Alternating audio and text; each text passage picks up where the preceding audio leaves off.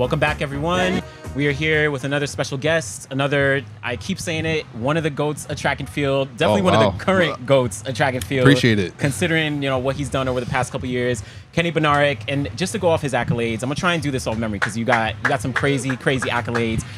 Olympic silver medalist in 2021, world world championship silver medalist in 2022, um, 19 well newly minted 19.59 personal best in the 200, one of the fastest of all time.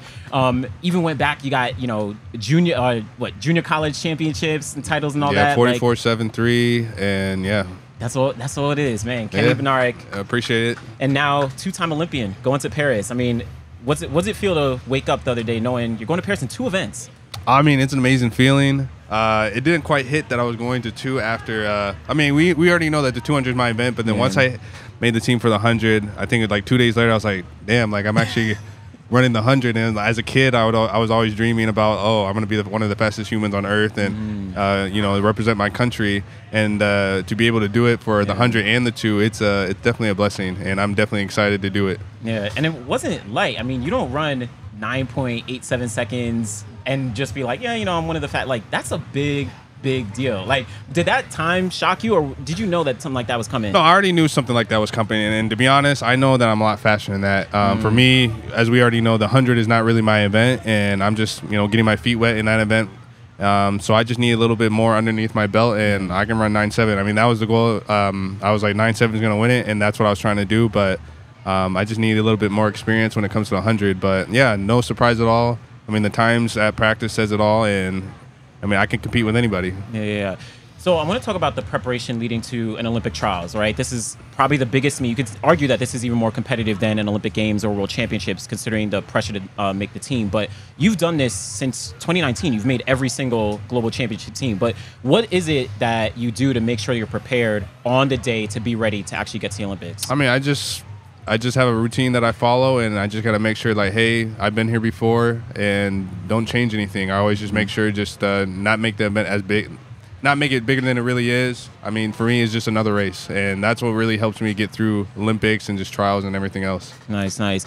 And now, as you kind of look forward, and actually even diving back, where got on the 100 team, you had a couple days before the 200. What is it that you do between then? Do you just like block everything off and you focus in, or are you kind of keeping tabs on what's going on and you know dialing in on the track? Uh, I'm, I'm pretty much like blocking everything out. Uh, I'm not on my social media. I mean, pretty much when the season starts, I'm not on social media. Um, so yeah, just for me, just to focus, recover, kick my feet up, have fun, watch some anime, or uh, I think we were watching a little bit of The Boys recently. Yeah, yeah, yeah. Uh, so yeah, just more so just calming my mind and getting ready for the next event. So. Not on social media because your social media goes crazy. Like you, you got like your social media Yeah, like very very active. So then, what's going on with your social media? Who's who's running it? What's going on? Uh, so I got a set team. Uh, I got a person named Mayo. Jack Nelson's also helping. Um, a lot of other people. Um, I got a social media handler, uh, Kaya and Megan. Um, yeah. They all been handling that for me, and I mean that's what I need to be an elite athlete. I mean my focus is on track, and that's what I want to do.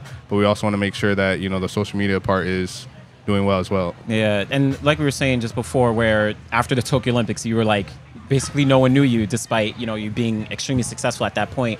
Why was it important to dial in to you know really promote yourself on social media and all that? I mean, everybody sees the end result, and nobody really sees what you know led up to that result. So we want Mm-hmm. people to see the inside of what athletes do at practice, or what it takes to be an, an Olympian. You know, Yeah, trying yeah. to inspire all the little kids and people from JUCO, and yeah, just know that we're human and. You know, we we put blood, sweat, and tear in this sport in order to get to where we are. Like, it's not easy, and that's what we want the people to realize. yeah, and you feel like it's because on the outside looking in, we think it's we look like it's easy. You look like you're gliding down the track. You look like you know you're so smooth and making it look easy, but behind the scenes, it's like it's tough. Yeah, everything is tough. I mean, sometimes I make it look easy. Sometimes, you know, sometimes I'll make it look easy, and then people are like, "Oh my gosh, like he ran fast as hell, looked easy," and then in my mind, like, man, that's that kind of felt like crap. I mean, after the 200, you were like, you know, you were what tightening up and all that. yeah, yeah. So I mean, throughout the race, uh, I executed pretty much, I would say, ninety percent of the race, um, and I had a little tightness that came up, and I just let off the gas, and I still ran that fast. So.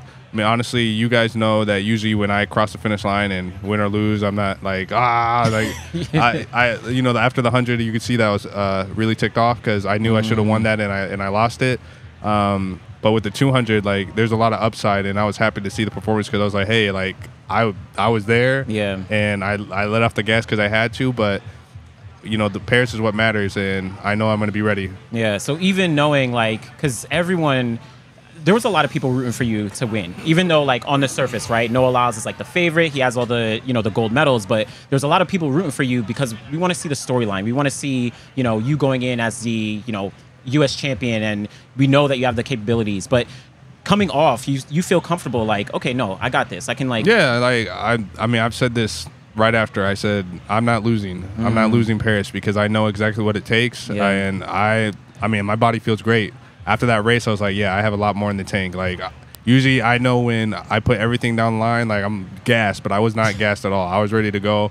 I, I was hyped and I was like, yeah, like I'm coming. Nice, nice. And so I, I asked you after the race, I mean, feeling about this team where since 2021, it's been the exact same team 2021, 22, 23. Obviously, you know, Courtney Lindsey made it last year, and, you know, um, other years, right? There was, you know, I had four. But this team is very, very strong. And there's a potential to get all three on the podium like there was in 2022, right? What are we looking at when we look at the landscape of the sprints right now? I mean, just this year alone, you how you know how it is. Uh, When Olympic year comes, everybody comes out of nowhere, and people are running fast. I mean, you got you got high school kids now that True. are putting their hands down, and then you got college kids that are coming, and then you got all the pros. Yeah. Like this is a very important year, and everybody's running fast. And I mean, yeah, like we definitely have the potential of sweeping the 200 and the 100 if we if we all do what we need to do. And um, yeah, like it, it's very very exciting. Like I'm more amped up for this one than I was for Tokyo because just Yeah. the whole atmosphere, the competitiveness, like it's going to be fire. Yeah, yeah. I mean, that'll also be different where you're not. You didn't have anybody in the stands before. You couldn't. I mean, I don't know if you brought anybody, but like it was basically empty for the most part, right? I'm Yeah. sure that's gonna get you a little more amped up just having people. Yeah, for sure. I all mean, that. that's that's one of the things I'm most excited for. I mean, you got the competition side, but also just being able to have my support team there Yeah. and, and the family. I mean, that's what's most important. Also, the fans. Yeah. Just having that actual Olympic atmosphere. That's what's something that was lacking last time. I mean, I keep telling everybody we're in the finals for the 200. I'm looking like it's empty, and I'm just like. This is really the finals, like biggest race of my life. Yeah. But it doesn't really feel like it. Yeah. Uh, but yeah, that is definitely what I'm most excited for. Is the fans, family, and there's just having the support team with me. And I mean, I wouldn't be there without them, anyways. There you go. So let's talk a little bit about the evolution, the progress of Kung Fu Kenny, where every single meet you're bringing out a new headband, and it's been going on since. I mean, I feel like what years at this point where you've Yeah, you know, had a couple yeah. of headbands, Yeah, right? Talk about like how that came about and why you choose like every a different headband every single time. So Kung Fu Kenny has a set of values that pertain to me, which is humbleness, discipline, respect, and dedication. And I try to live those values on the track and off the track. And the reason why we came up with Kung Fu Kenny is because uh, I keep telling everybody is that, you know, when you see us wearing all the uniforms, you got Nike, Adidas, and whatever, and you know it's either white, blue, or whatever whatever color Yeah. they have for that year, and it's hard to differentiate, you know, who is who sometimes. And for me, I wanted to stand out as my own, you know, own person. And you already know that I'm a silent warrior. So I was like, what what can we do that will show who I am as a person, but not making me be something that I'm not. Yeah. And you know that's why we did the bow because I'm a big anime lover, and Yeah. I've always worn handbands in like I think middle no not middle school I would say college. I started with the headband, and um, yeah, just every single time we go to the track, we're always trying to have a different theme. Um, for this, it was a Naruto themed headband, so you know each round it was a it was a, a different type of level. Yeah. You know, like uh, Dragon Ball Z, you got Super Saiyan and Yeah, all that yeah, stuff. yeah, yeah. So for Naruto, it's like okay, you got hit, the Hidden Leaf handband, then you got his Nine Tails Chakra mode, then you got his Ultimate mode, which is Baryon mode, and that's just kind of the same thing we were doing with the hundred with uh, Sasuke's uh, eye, eye ability. yeah. So yeah, we're just trying to trying to have fun with it, and yeah, I mean that's how.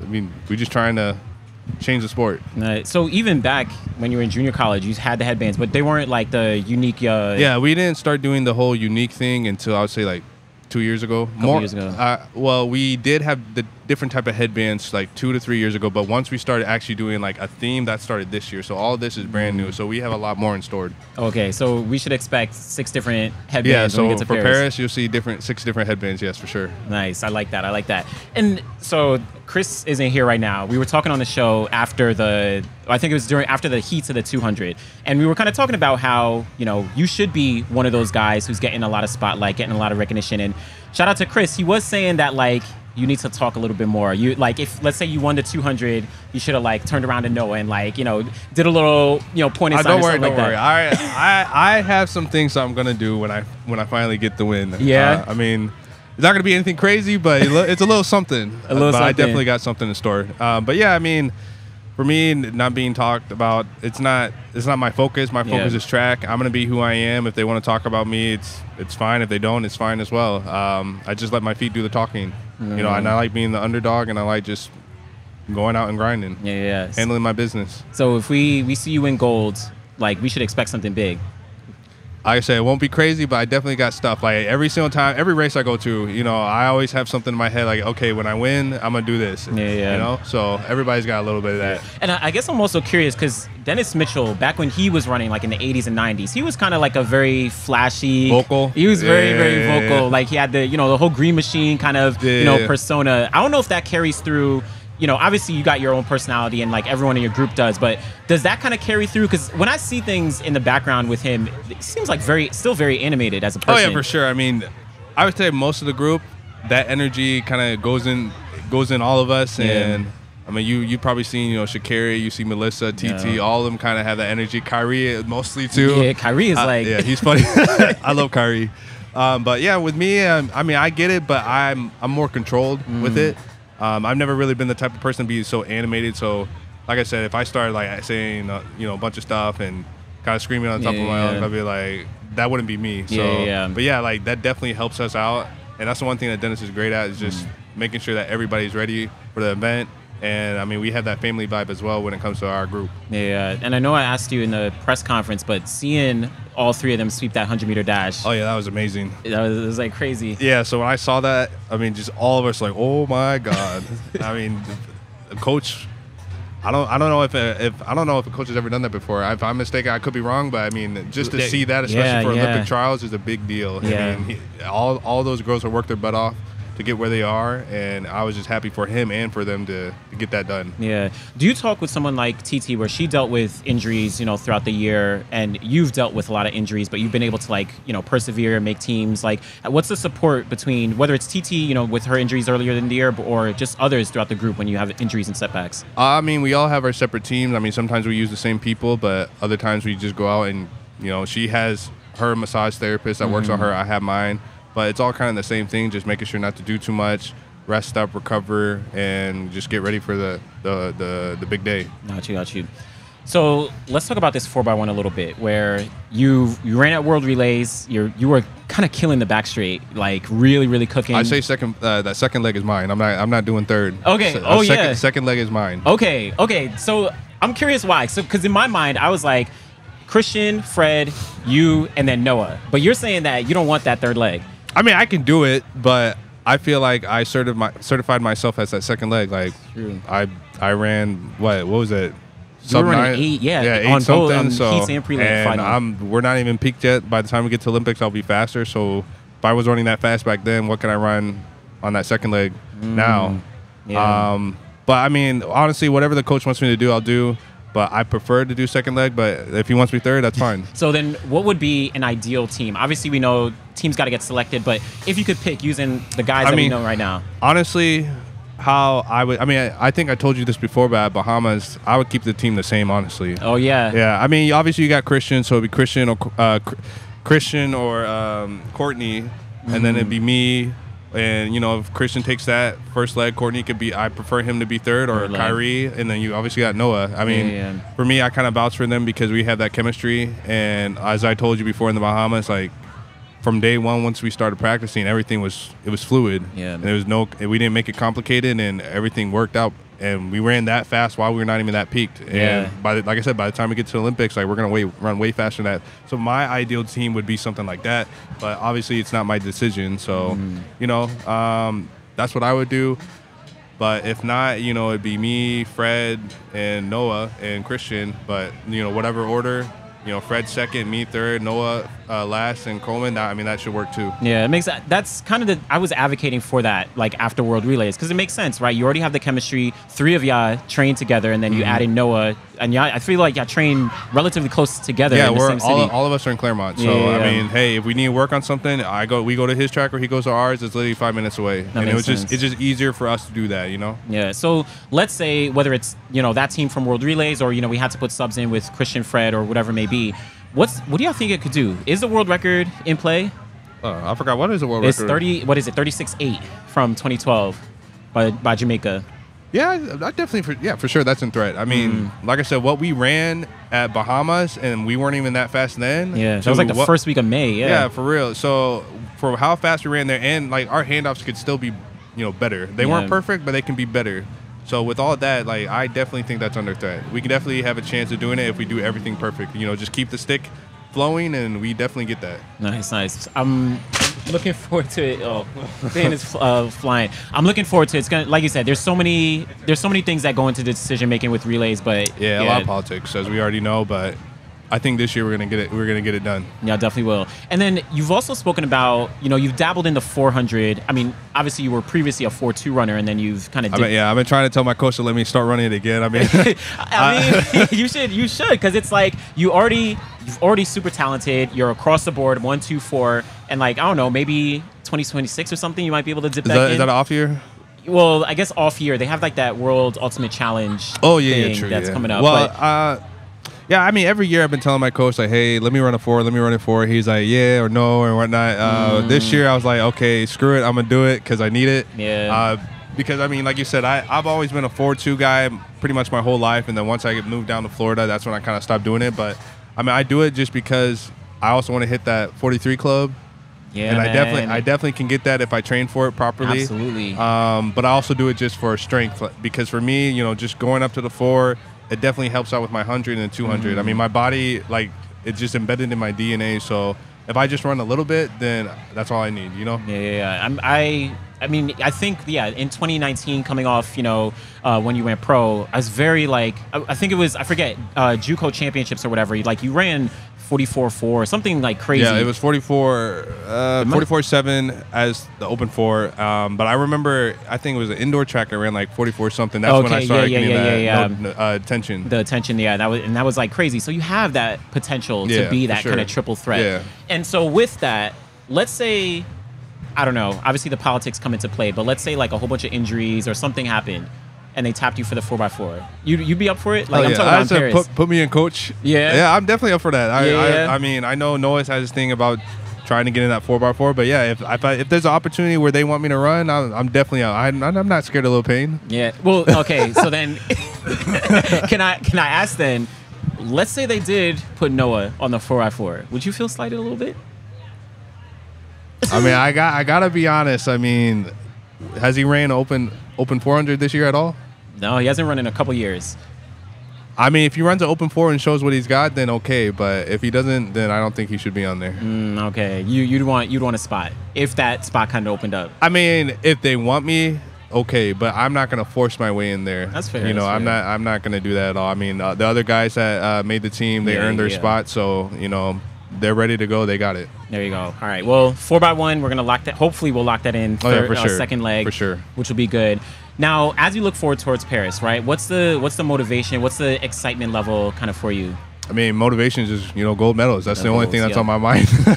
but yeah, uh, I'm just like I said, I already know where I'm at. There's Yeah. not much we need to do. It's just more work on the technical side, and you know, just get ready. I'm already ready. Like, put me now. for you right now. I mean, what's the? Because it, it's crazy to see the progression you've made between, um, you know, Tokyo 19.6, uh, 68, uh, 21, or 2023 just now, 2024 19.67. Now in the hundred, you're going crazy. Uh, just here, you ran again 19.59. Like, Mm. what do you think is possible time wise? Do you think that 19.3, 19.2? Are we like thinking world Uh, record? I'm taking it, you know, year by year. But this year, my goal is 19.3. I like after the race, I texted my coach. I said, "Hey, I got a 19.3 for you at Olympics." So he Mm. said, "Hey, I'm with you, brother." And we we know we got that in me. I mean, even with this race here, if I didn't let up a little bit, that's a 19.4. Yeah. So yeah, I, I'm not gonna say I'm gonna break the world record or anything, but you know, year by year we'll see what happens. But this year, my goal is to hit 19.3 or faster. If I do that, then okay, next year is what do I want to hit? Yeah. yeah, yeah. Um, so yeah, I mean, I'm Hey. ready for anything, honestly. Hey, I, I think you're more than capable of it. And do you thrive off pressure where there's so many guys between yourself, Noah, you know, Erriyon, and internationally, like Tebogo, so many guys who are in the mix and fighting, like all of y'all are in 19.5s at this point, right? Do you like the pressure of knowing that there's so many guys who can. I love it. I, I always love competition. Yeah. I mean, that's that's why I love track and field. I mean, it's nothing beats like you know, just kicking somebody's ass. just be honest about it. yeah. So uh, yeah, I mean that that's the one thing I love about track is you know you're always gonna have guys that are running fast and Mm-hmm. you know fast times everywhere, and I'm like, okay, you know this guy's running fast, so that's gonna force me to get faster. Like that's why I love the sport. You know, you know, you run fast, I run faster. You run fast, I run fast. It's a, it's a whole cycle where you're just always competing against times Mm-hmm. and always trying to better yourself. So I guess I'm curious because I, I asked Noah. Um, you did um, in this race, right? You were clear coming off the curve, right? Obviously, you got past a little bit, but there's other times where it's like you're not leading off the curve, right? And it's a different race. You have to kind of pick things up. Which race model do you like, or you know, kind of race playing out do you like? I rather honestly, I rather just come out of the curve first because my top end speed is just as good. Um, you know, if I'm just not tightening up or anything, like nobody's catching me, and that Mm. just comes with uh, running the 400s. That I mean, that's my background. That's something that I got almost over all the guys except for the you know me and Tebogo are similar in that way. Yeah, like he runs yeah. 400s, I ran fours, and I mean, yeah, Noah Noah is very technical sound, and that's what. That re- that's what kind of gets him going, but for me, like I have that strength, and once I get that technique down, like nobody's catching me if I'm getting off the turn first. I like it. I like this confidence, man. This is this is big. This is big. So excited, Kenny B. Really appreciate it. Uh, thanks for having me on. Absolutely.